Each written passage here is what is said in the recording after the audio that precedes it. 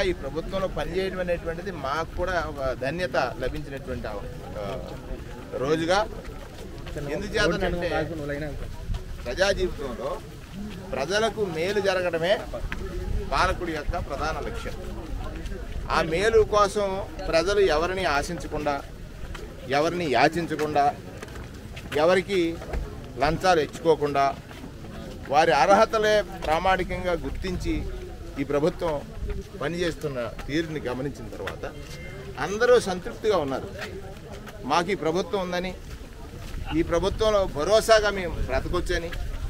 ఈ ప్రభుత్వం అంటే భరోసా. జగనన్న ప్రభుత్వం అంటే భరోసా.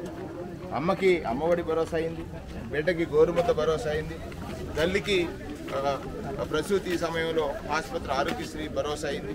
తల్లి చేసేటం. వృద్ధురాలికి పెన్షన్ భరోసా అయింది. రైతుకి రైతు భరోసా కార్యక్రమాలు భరోసా ఇవి. అందుచేతే ఎక్కడికి వెళ్ళినా ఇవాళ గడప గడప కార్యక్రమంలో మేము మూడు సంవత్సరాల పరిపాలన సమయంలో ప్రజల నుంచి ఇంత సంతృప్తిని చూడగలుగుతున్నామనంటే దానికి జగన్మోహన్ రెడ్డి గారి నిర్ణయాలు కారణము. ఈ ఈ రామచంద్రపురం పట్టణంలో రోడ్లు వేశాం ట్రైన్లు బాగు చేశాం. రామచంద్రపురం పట్టణంలో ఉన్నటువంటి ప్రజలందరికీ కూడా నిరంతరం అందుబాటులో ఉన్నాం.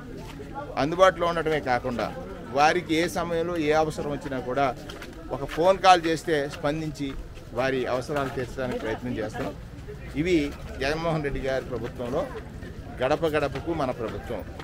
గతానికి ఇవాళకి ఉన్నటువంటి తేడా ఏమిటంటే అమ్మ గత ప్రభుత్వంలో నీ ప్రభుత్వం నీకు ఇంటికి ఏమన్నా అవకాశం వచ్చిందా అని అంటే కనీసం లేదు. కానీ ఇవాళ నీ అర్హతని గుర్తించి మేము ఈ ఈ ప్రభుత్వం నీకు సంక్షేమం ఇచ్చింది అనేటువంటి మాట చెప్పినప్పుడు వాళ్ళందరూ కూడా గొప్పగా స్పందిస్తూ ఉన్నారు.